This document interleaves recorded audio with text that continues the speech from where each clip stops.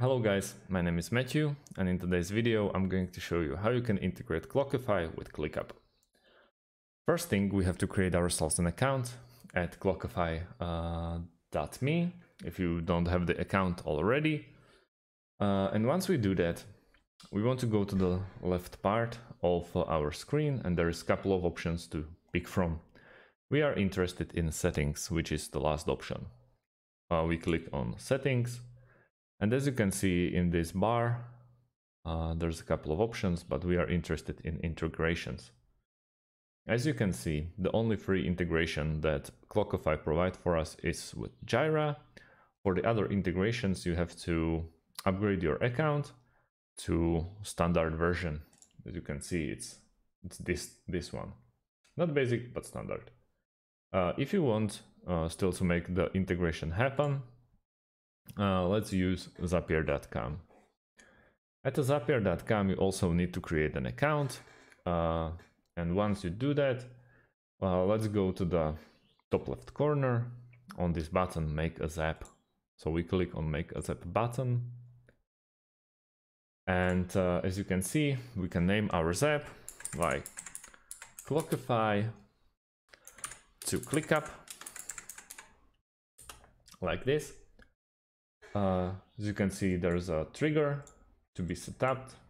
So we want to actually start with Clockify first.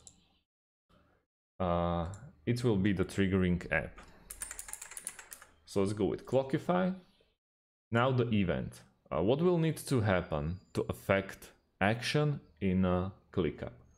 So, new project, new task, new client. Uh, it's completely about you what you need. So let's go with the first one. We hit continue. Now we have to log in with a Clockify account. Uh, you will be asked uh, to enter the API key.